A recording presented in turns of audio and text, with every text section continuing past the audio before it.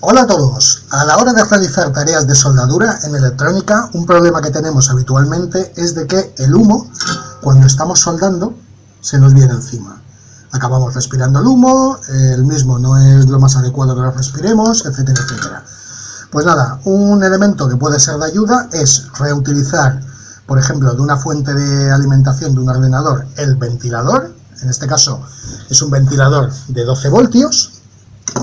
le he adaptado en el lateral un soporte para colocar una pila de 9 voltios, sencillamente con dos chapas de aluminio y un tornillo que sujete las mismas.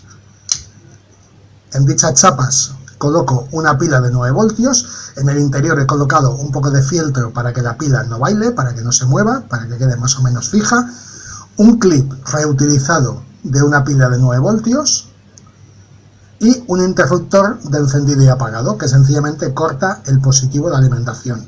No muestro el paso a paso del montaje del mismo ya que veis que es muy sencillo, tan solo el ventilador, el interruptor, el clip, una pila y dos chapas metálicas que cada uno adaptará pues como mejor le guste o mejor le convenga. Pues nada, de esta manera tenemos un ventilador que si lo colocamos al lado de la placa, pues en el momento de tener que realizar tareas de soldadura, Tal como veis, genera una corriente de aire absorbente y todos los humos quedan absorbidos e impulsados a la parte posterior por el ventilador. Por lo tanto, podemos realizar las soldaduras sin problemas de tener que estar comiéndonos todo el humo que genera el desoxidante que lleva el estaño internamente. Lo dicho, si no lo tuviéramos, pues el humo nos acabaría volando, tal como lo tenemos, pues el humo queda impulsado hacia la parte posterior del ventilador donde no nos molesta en absoluto.